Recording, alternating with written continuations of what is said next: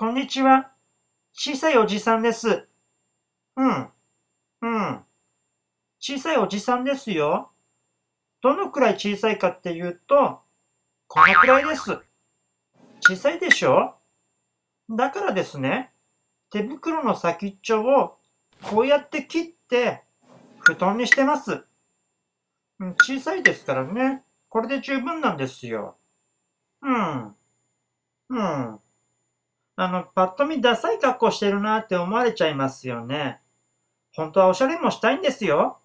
でもね、やっぱネックレスとかしても、こう余っちゃうんですよね。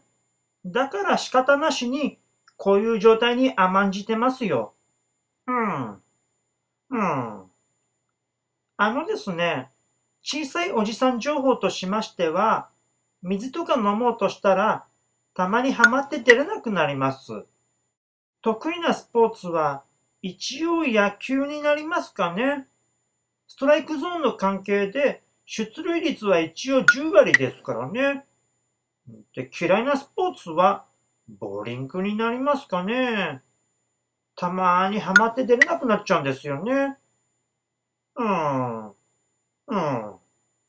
あと嫌いなのは、私のことを見つけた人が、携帯とかで写真を撮ろうとするんですけどね。